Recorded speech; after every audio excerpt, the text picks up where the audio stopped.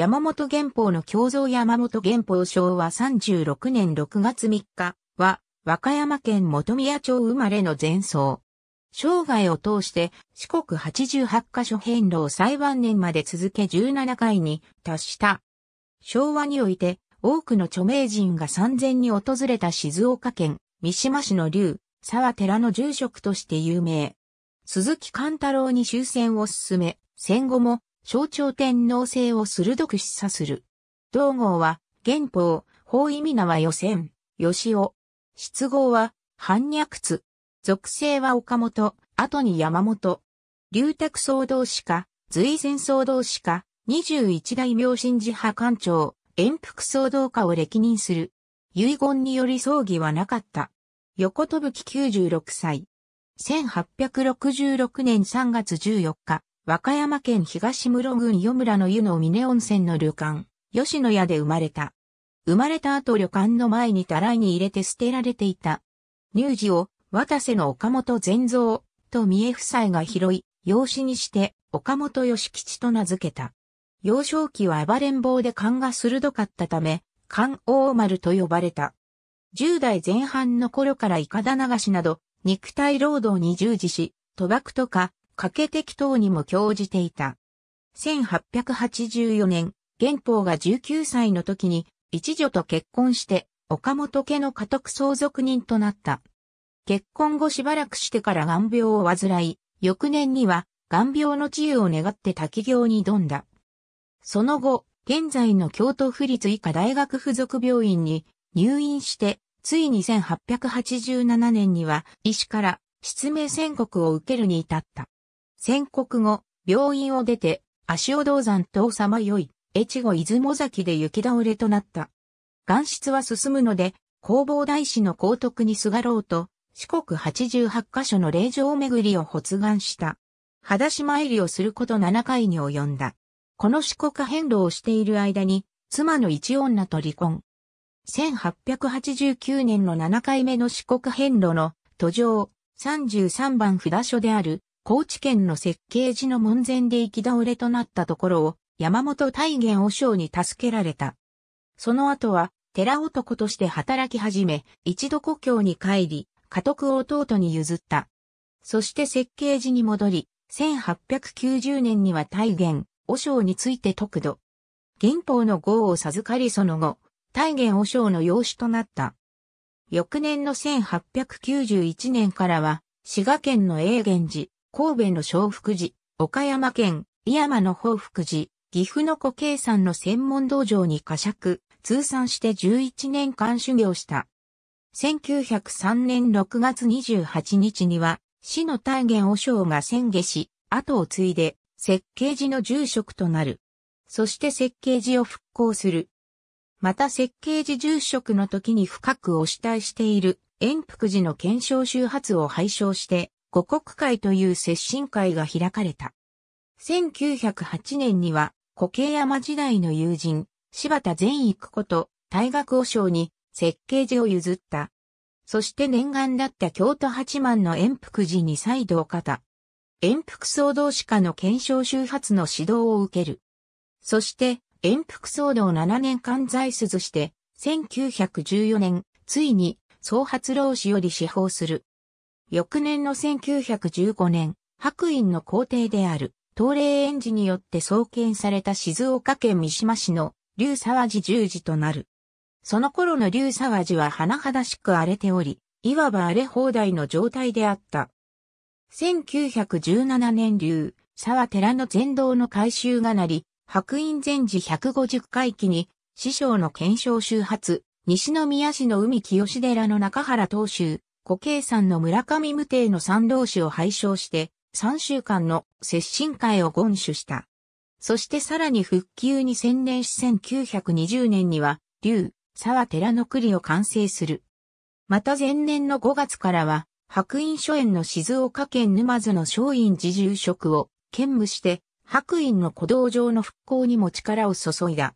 松院寺県人は1929年の春、犬山の随泉寺住職になるまで続いた。1921年には、東京小石川の龍雲院白山道場に、聖堂会を開く。後に法を継ぐ中川宗園が山本源法に出会ったのもこの会においてである。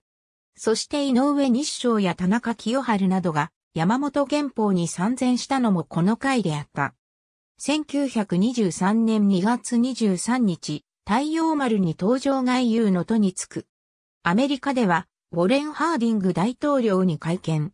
その後イギリス、ドイツを巡遊。ドイツで関東大震災の法を危機基調。1924年には、竜沢寺で、東霊禅寺150年記念の受会会を開催する。その後1925年10月には、インド仏石巡拝する。1928年9月に山本元法は愛知県犬山市の随泉寺住職となる。そして1931年には随泉寺に騒動を開け人いする。その後随泉寺対山後は1933年には名古屋の角王山比、大寺の住職となる。翌1934年8月には白院の師匠である同郷江丹の寺、飯山の少女安住職を兼務することとなり、復興に努めた。1936年7月、新京に妙心寺別院を改装し、11月には新京妙心寺別院全道の開端式を挙行。1941年10月には、ついに正式に、竜、沢寺の総動会端が認められる。1945年、終戦の消直にある、耐え敵を耐え、忍び敵を忍びの文言を進言したとも言われ、天皇を国家の象徴と定義する、よう発案するなど、鈴木貫太郎首相などの相談役なども務めた。また、終戦前後の元法の活躍や、耐え敵を耐え、忍び敵を忍びの詳細に関しては、NHK 教育テレビ放送で当時の前昭安住職の平井元教が詳しく語っている。1947年には臨済宗明神寺派21代官庁に推挙され、新山。そして1948年花園大学の改革にも着手した。1950年には戻った竜沢寺で4月に受会会を開催。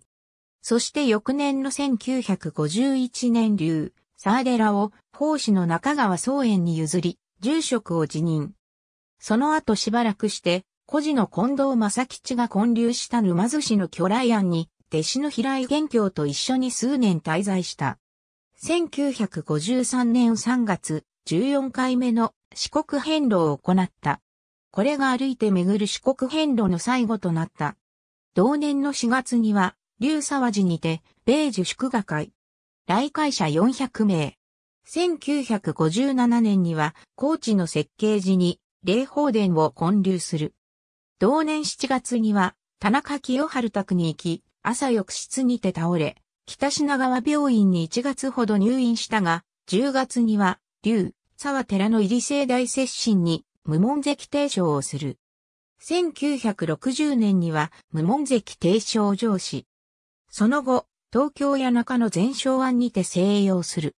12月21日に、共振症発作。翌23日には、全昭庵にて遺言を駆除する。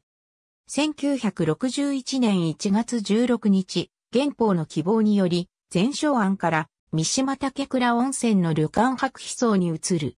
6月3日午前1時25分宣下。横飛ぶき96。意外を即時流沢寺に移した。6月5日にダビに付した。遺言により葬儀は行われなかった。そして25日に半野菜を営む。9月28日に誕生地、和歌山県湯の峰温泉場に原宝と建立。三島市の竹倉温泉、白飛荘は、竜、沢寺から車で30分のところ。質素な湯治場だ。温泉好きの原宝は、素朴なこの温泉を愛した。そして、原宝老子の部屋がある。1961年6月3日午前1時25分、96歳をもって原宝老子は、この部屋で生涯を閉じた。白飛荘が最後の場所になったのは、竜沢寺におったのでは修行中の雲水に迷惑がかかるから、竹倉に行くと老子の願いで、東京前昭安から車でやってきたからである。部屋には将棋名人の増田幸三と並んで撮った写真が掲げてあった。そして時の総理、池田隼人首相はこの部屋にお忍びで見舞いにやってきた。全文公安、年日下げは皆方便です。河原を持って門を叩くか、石を持って門を叩くかというようなことです。門を叩いて誰を呼び出すかと言うたら、命名の主人公を呼び出す多くは文字を知らなかったとされるが豪傑として知られ、その姿を見た剣の達人は、あの人は切れない。衣と体が一つになっている。ああいう人は切れないと周囲に漏らしたという話がある。将棋の増田幸三名人が先を歩いていた人の後ろ姿を見て、いわゆる本間者だったと言われた。そういった自然の後ろ姿に滲んでいた、原法老子独自のシャンとした雰囲気を誰とも知らずに感じ取った増田幸三も偉い人だったと思います。ちなみに、増田名人と山本玄法はその後あって意気統合した。以下、孤児の弟子。ありがとうございます。